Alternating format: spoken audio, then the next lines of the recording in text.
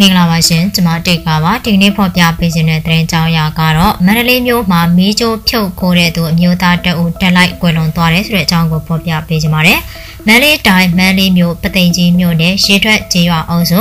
ချောင်းမကြီးကျေးရွာအရှိတ်ဘက်ချမ်းခလာရလေးစစ်တပ်နေမှာမြောင်းပောင်ပေးမှာအမျိုးသားတအုပ်ဝါယာကျိုးတွေဖြုတ်ခိုးနေစဉ်မှာတက်လိုက်ကွယ်လွန်ခဲ့တယ်လို့မြို့ကန်ပရဟိတအသင်းတွေကဆိုပါတယ် ဇွန်လ10ရက်မနေ့ကညနေ9:00နာရီမှာအမည်မသိရုံလောင်းတွေ့ရှိထားတယ်ဆိုပြီးတော့နေကန်တွေကဖုံးဆက်လာတဲ့အတွက်သွားရောက်ကူညီခဲ့တယ်လို့အနန္တမြစ်တာလူမှုကူညီအသင်းရဲ့ဥက္ကဋ္ဌကဆိုပါတယ်။တရားရီနဲ့ကွယ်လွန်နေသူအလောင်းလေးတွေ့ထားတယ်။လာရောက်ကူညီဖို့အလောင်းကိုတွေ့တဲ့သူတွေကဖုံးဆက်တာပါ။ ကျွန်တော်တို့ရှောက်တော့ဆုံးနေပါပြီ။ဆုံးတဲ့သူရဲ့ဘေးပတ်ဝန်းကျင်မှာမီးကြိုးဖြုတ်ရမှအသုံးပြုတဲ့ပလာယာနှစ်ချောင်းတွေ့တယ်။ခန္ဓာကိုယ်အောက်ပိုင်းလျှက်စစ်ဝါယာရှော့ဖြစ်ပြီးမီးလောင်အပူရောင်တန်ရာတွေတွေ့တယ်။လူကလည်းတောင်းနေပါပြီ။မြေချိုးဖြုတ်ခုနေစဉ်တက်လိုက်ကွယ်လွန်ခဲ့ပြီးတော့မိသားစုနဲ့ဒီနေ့အထိအဆက်အသွယ်မရရှိသေးဘဲနဲ့ပိုင်ရှင်မဲ့အလောင်းဖြစ်နေတာမန်လေးစစ်ရုံကြီးရင်ခွဲရုံမှာထားရှိထားပါတယ်လို့ဆိုပါတယ်။ မတ်လ3ရက်နေ့ကလည်းလာရှိုးမြို့မှာအမျိုးသားသုံးအုံမီးကြိုးတွေဖြတ်ပြီးခိုးယူနေစဉ်အတွင်းမှာရက်ွက်အတွင်းနေသူတွေကဝိုင်းဝန်းဖမ်းဆီးပြီးတော့နေမီကန်ရဲစခန်းကိုပို့ဆောင်ခဲ့တယ်လို့သိရပါတယ်ရှင်။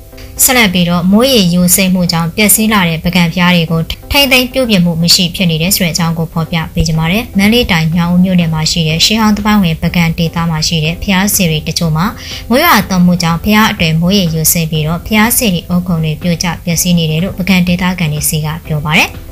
နှစ်သက်တမ်းကြာမြင့်လာတဲ့ရှေးဟောင်းဖျားတွေမှာအတိတ်ကမိုးရေစိမ့်တာပြပြီးတော့မိုးကောင်အုပ်ထားရမယ့်ဖျားတွေပြိုကျနေတဲ့အုပ်တွေဖယ်ရမယ့်ဖျားတွေလည်းရှိနေတယ်လို့ဆိုပါတယ်။ပကံဒေသကန်တူကတော့ပင်နဲ့ဖျားလည်းပြင်းတဲ့ဦးစားပေးနာမည်ကြီးဖျားတွေပေါ့။မိုးခါကြောင့်မဟုတ်လဲတပြေးပြေးလုံးပါပါသွားမှာပဲ။မိုးခါကြောင့်တိတ်မထီဘူး။မိုးကြီးရင်တော့ပြိုနေမှာပဲ။ရေစိမ့်နေတာအများကြီးပဲ။ပြင်ဆင်ပြီးတဲ့ဖျားဆိုရင်စူနာမဏိဖျား၊စိုးမင်းကြီးတကြားပုံစတဲ့ပြီးတဲ့ဖျားကတော့ပြီးနေပါပြီ။အခုတော့ဘူးဖျားမှာဝိုင်းအောင်နေကြတယ်လို့ပြောပါတယ်။အခုလိုမိုးရသည်ရောက်တိုင်းမွေးရည်ရွစိမ့်မှုတွေကြောင့်ပြည့်စည်လာတဲ့ပကံဖျားတွေရှိပေမဲ့ပကံဒေသခံ80ရာခိုင်နှုန်းလောက်ကတော့ဖျားတွေအပေါ်စိတ်ဝင်စားမှုအားနည်းပြီးတော့ဒီလိုအဖြစ်တွေကကဲဆက်ဆန်နှစ်တိုင်းကြုံတွေ့နေရတာလို့ဆိုပါရယ်ပကံဒေသခံခီးသွွားလုပ်ငန်းလုပ်ကိုင်နေသူတူကတော့ပကံကဖျားစီရီတွေရဲ့နှစ်တန်တန်ကနှစ်တစ်ထောင်နီးပါးကလာပြီဆိုတော့တန်ဖိုးတော်တော်ကြီးမားတဲ့နေရာတစ်ခုဖြစ်နေပြီးနောက်ထပ်ပျက်စီးဆုံးရှုံးမှုမရှိအောင်နိုင်ငံတော်က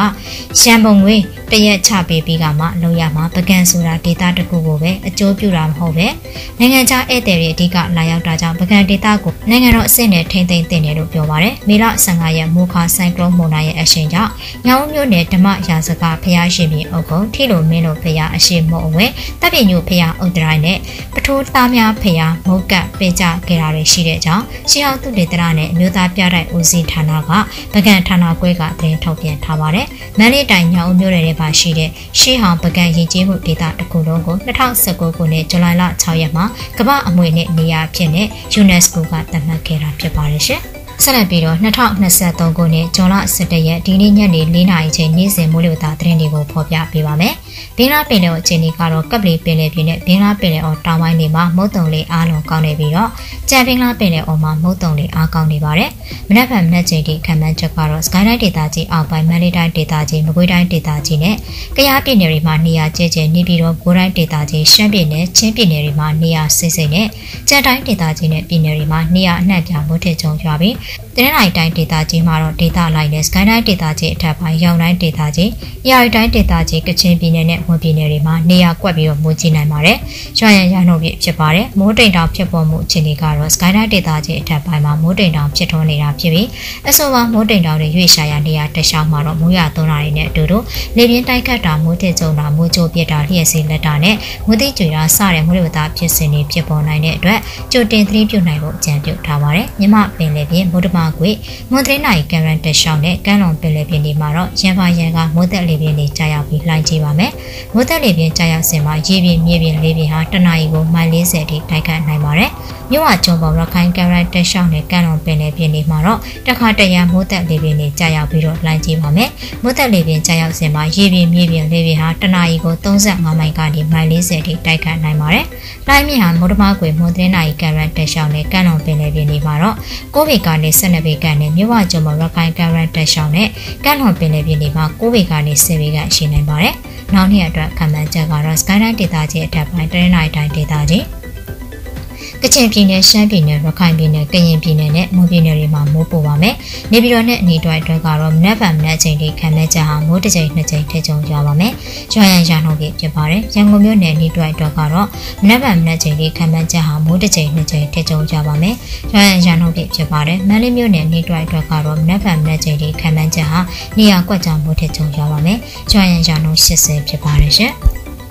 ဆက်လက်ပြီးတော့မွေးရပါလေးကအားနေနေလို့သိန်းတရာကျော်အကုန်ကြခံပြီးတော့ခန္ဓာကိုယ်ပေါ်ကအင်္ဂါရက်တစ်ခုကိုပြောင်းလဲလိုက်တဲ့ထထတော်အကြောင်းကိုဖော်ပြပေးကြပါမယ်။ ထထတော်ကတော့အိမ်အောင်ဇလန်တွဲထဲမှာပါဝင် tiêu ဆောင်ခဲ့သူတဦးဖြစ်ပါတယ်။ဒီနေ့မှာတော့ထထထွန်းကတော့ရင်သားစီလီကွန်ထည့်တဲ့အကြောင်းကိုပြပြခဲ့ပါတယ်ထထထွန်းကတော့မြန်မာနိုင်ငံမှာလည်းရင်သားစီလီကွန်ထည့်တာကိုတော်တော်များများလည်းလှုပ်လာကြပြီးတော့နိုင်ငံခြားမှာတော့လက်ချိုးရည်လိုတော့မရအောင်ကိုအရင်တွက်တည်များနေကြပြီးမြန်မာနိုင်ငံမှာတော့တည်တည်ချာချာစစ်စစ်ရွေးချယ်မှုမရှိဘဲနီလန်မှားတွေလုပ်နေကြလို့ အခက်အခဲဖြစ်နေကြတဲ့သူတွေလှကျင်လို့လုပ်ပေမဲ့အခက်အခဲဖြစ်နေကြတဲ့သူတွေကိုတွေ့ရလို့ထက်ကလေးလာလို့ရအောင်ပြောပြပါမယ်။ထက်ကရင်သားစီလီကွန်ထဲကိုစဉ်းစားနေတာကြာပါပြီ။ထက်ရင်မူရပါကအားနေနေလို့ဝစ်စားဆင်ရင်မှုမှာအမျိုးမျိုးစဉ်းစားဆင်ခြင်းဝစ်စားနေရတာကြာပါပြီဒါလေးသာထပ်လုပ်လိုက်မယ်ဆိုရင်အဲ့ဒီလိုအခက်အခဲတွေမရှိတော့ဘူးပို့ပြီးတော့ယုံကြည်မှုရှိလာမယ်ဆိုပြီးတွေးထားပြီးမလုပ်ရဲတာကြာပြီအရင်ကလည်းနိုင်ငံခြားကုမ္ပဏီတစ်ခုက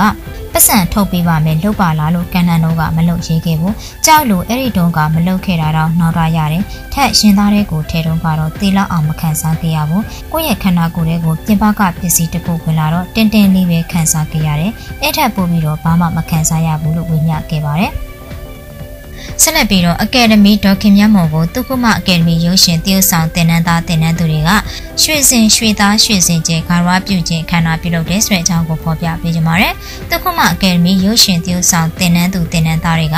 Academy အမေဒေါခင်မြတ်မော်ကို သုခမအကယ်ဒမီရွှေစင်ရွှေသားရွှေစင်ကျဲဂါရဝပြုကြောခြင်းအခမ်းအနားကိုဇွန်လ10ရက်နေ့လယ်တနာရီကတကုံမြို့တဲ့အရှိပိုင်းမြို့နယ်လေးရက်ကွယ်အာတာရီလမ်းမှာရှိတဲ့တိလက္ခဏာရမတကုံသာသနာရိပ်သာကျောင်းတိုင်မှာကျင်းပခဲ့ပါတယ်။သုခမအကယ်ဒမီပြီးတော့အမေရန်ဝမ်းတာတာပေါ့အမေက18နှစ်ကလေးကအကယ်ဒမီရပြီးတော့အခုအသက်82နှစ်မှာသုခမအကယ်ဒမီအယုရှင်တရုတ်ဆောင်တင်နန်းသူတင်နန်းသားတွေရဲ့ ရှင်တွေကပေါက်ဖွားတဲ့အကယ်ဒမီလေးမျိုးအမေတန်ဖို့ထားပါတယ်ဒါရိုက်တာကျော်ပပူတာကနောက်တယ်လို့ထင်တာတကယ်ဖြစ်နေတယ်ဒီတော့ဝမ်းသာတာပေါ့လို့သူမကဆိုခဲ့ပါတယ်သူကမှအကယ်ဒမီနုပညာတရုတ်ဆောင်တင်နန်းသားတီထောင်သူဒါရိုက်တာကျော်ပပူတာရဲ့ဂါရဝပြုကျင်းပပါတဲ့အကြောင်းနဲ့အမေတော်မြတ်မွန်ရဲ့ PD စကားတန်တွေကိုပြန်လည်ဖော်ပြပေးလိုက်ပါတယ် ဆက်လက်ပြီးတော့အင်ကအမေခါရင်ဘာမှမလုပ်တလောက်ကျောင်းကဆီယာမနဲ့ဆိုရင်အချိုးကိုပြင်နေတာပဲဆိုပြီးတော့သမီးလေး MBY အကြောင်းပြောလာတဲ့အေသင်ချိုဆွေကျောင်းကိုဖော်ပြပေးကြပါတယ်။အဆိုတော့အေသင်ချိုဆွေကတော့အသက်18နှစ်အရွယ်မှာပေါက်တဲ့အိုးဆိုတဲ့အေဘန်နဲ့အောင်မြင်မှုရရှိခဲ့သူဖြစ်ပါတယ်။အဆိုတော့တယောက်အပြင်တယောက်ဆောင်တယောက်ဖြစ်ပါရက်တည်ခဲ့တဲ့အေသင်ချိုဆွေဟာနိုင်ငံရေးပဋိပက္ခနောက်ပိုင်းမှာတော့ဩစတြေးလျနိုင်ငံကိုထွက်ခွာခဲ့ပြီးတော့သမီးဖြစ်သူနဲ့နှစ်ယောက်တည်းမိထိုင်နေတာဖြစ်ပါတယ်။အေတီချိုဆွေသမီးလေး ABY ကတော့ချစ်စရာကောင်းသလိုနည်းနည်းလေးလည်း အေးအေးဆေးဆေးတည်ငြိမ်တာမလို့အေတင်ချိုစင်နဲ့အမြဲတမ်းရံပြစ်လိုက်ပြန်ချင်လိုက်ရှိနေတာဖြစ်ပါတယ်။ဒီနေ့မှာတော့အေတင်ချိုစင်ကသူမရဲ့အိမ်ကအမေကခိုင်းရင်ဘာမှသိမလို့ချင်ဘူး။ ကျောင်းကဆီယမနဲ့ကြတော့အချိုးကိုပြင်နေတာပဲလို့သမီးလေးအန်ဗီဝါရဲ့ဗီဒီယိုကိုဝင်ပြခဲ့ပါတယ်။အေတင်ချိုစင်ကတော့အိမ်ကအမေခိုင်းရင်ဘာမှမလုပ်တဲ့လောက်ကျောင်းကဆီယမနဲ့ဆိုရင်အချိုးကိုပြင်နေတာပဲဆိုပြီးတော့သမီးလေးအန်ဗီဝါအကြောင်းပြောပြခဲ့တာဖြစ်ပါတယ်။ဆက်လက်ပြီးတော့ပြင်းလွန်းလို့ဒရိုက်တာကဒိုင်ယာလော့ချပြီးရင်တော့အရင်ဆိုင်နဲ့ပဲတင်ပြတယ်ဆိုတဲ့လင်းအောင်ကြောင့်ကိုဖော်ပြပေးကြပါမယ်။မင်းသားကျော်လင်းအောင်ကတော့ရုပ်ရည်ချောမောရုံသာမကပဲနဲ့တရုတ်ဆောင်လဲကောင်းမွန်တာကြောင့်ပြည်သက်အပိမှုကိုအများပြရရှိသူဖြစ်ပါတယ်။အလင်းအောင်ဟာပြီးခဲ့တဲ့နှစ်တည်းမှာကယောဂအခြေအနေတွေနဲ့နိုင်ငံရေးအခြေအနေတွေကြောင့်အနုပညာအလုပ်တွေနဲ့လှမ်းဝေးခဲ့ပြီးတော့လက်တလောမှာဇက်ကားတွေပြန်လည်ရိုက်ကူးနေတာဖြစ်ပါတယ်။လက်တလောမှာတော့အလင်းအောင်ကဒါရိုက်တာပွင့်တင်ကြီးစော်ရိုက်ကူးမဲ့ဇလန်တွဲတင်မှာပါဝင်တရုတ်ဆောင်ရရှိတာဖြစ်ပါတယ်။ဒီနေ့မှာတော့အလင်းအောင်ကသူ့ရဲ့ရိုက်ကွင်းပေါ်ကဗီဒီယိုကိုတင်ပေးလာခဲ့တာဖြစ်ပြီးပြင်းလုံးလို့ဒါရိုက်တာကဒိုင်လော့ချပေးရင်တော့အရင်ဆိုင်နဲ့ပဲတင်ပြတယ်ဆိုပြီးတော့ရေးစရာပြောပြခဲ့ပါတယ် အလင်းရောင်ကတော့ရှယ်ကွင်းပေါ်မှာသာပုတ်ပုတ်ပပနေထိုင်တက်ပြီးမြဲကင်မရာရှိရောက်ရင်တော့သူ့လုံးနိုင်တာတက်ပို့ပြီးတော့အများကြီးစူးစမ်းလှုပ်ဆောင်တတ်တဲ့မိသားတစ်လက်ဖြစ်ပါတယ်။ဆက်လက်ပြီးတော့မင်းမရှာဖြစ်တဲ့သူ့သူရဲ့ item အတိုင်းပဲတပြားမှမလျော့သွားရအောင်အခွင့်လုပ်ပြခဲ့တဲ့စံနေမြင့်လင်အကြောင်းကိုဖော်ပြပေးကြပါမယ်။အဆိုတော်တရုတ်ဆောင်စံနေမြင့်လင်ကတော့နုပညာလောကမှာမသိတဲ့သူမရှိလောက်အောင်ကိုထင်ရှားကြွကြသူဖြစ်ပါတယ်။စံနေမြင့်လင်ကတော့သူမရဲ့အနုပညာကြောင့်သာမကဘဲနဲ့ချစ်စရာကောင်းတဲ့သူမရဲ့မိသားစုကြောင့်လည်းပြည်သက်တရဲ့ချစ်ခင်အားပေးမှုကိုရရှိသူဖြစ်ပါတယ်။ ပရိသတ်တွေတည်ပြီးသားအတိုင်းပဲဆန်နေမြင့်တွေဟာမိတ်ကပ်ညီညီမောင်စမ်းကြောင်းနဲ့အရန်ကိုခင်မင်ပြီးတော့တငယ်ချင်းလိုညီမလိုဆက်ဆက်ရမျိုးတိဆောက်ခဲ့တာဖြစ်ပါတယ်ဒီနေ့မှာတော့ညီညီမောင်စမ်းကြောင်းကဆန်နေမြင့်တွေနဲ့ဗီဒီယိုကိုတင်ပေးလာခဲ့ပြီးဒီဗီဒီယိုမှာဆန်နေမြင့်တွေကမိမရှာတယောက်လုံးပုံစံဟန်ပတ်အမှုရာတွေလုပ်ပြီးတော့ချစ်စရာကောင်းစွာပြပြလာတာတွေ့ရပါတယ်ဆန်နေမြင့်တွေကတော့မိမရှာဖြစ်တဲ့သူ့သူ့ရဲ့ idea အတိုင်းတပြားမှမလျော်ရအောင်အခွင့်အရေးလုပ်ပြခဲ့တာကတော့အရန်ကိုချစ်စရာကောင်းပါတယ်